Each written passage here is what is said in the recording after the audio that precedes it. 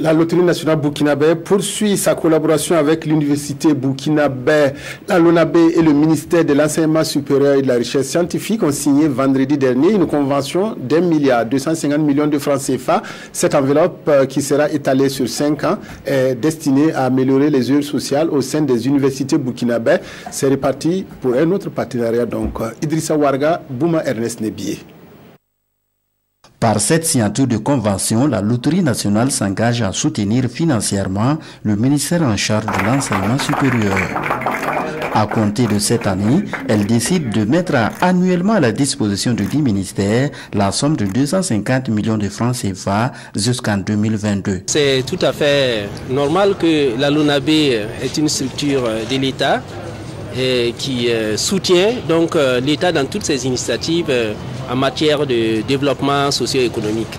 Et donc, l'action de la LONAB de ce soir s'inscrit en droite ligne également de 3 hein, du, PNDS que vous connaissez.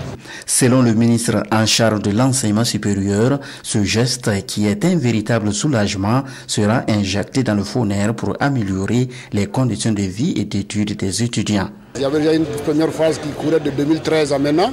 Ils viennent encore avec une seconde phase euh, d'un milliard 250 millions. Donc la LONAB aujourd'hui est venue en appui pour les prêts FONER et on peut être très satisfait de ce geste-là. On a près de 43 000 étudiants. Mais l'aide FONER pour cette année, euh, on, prévoit de le faire pour 60 000 étudiants. 60 000 étudiants, par 175 000.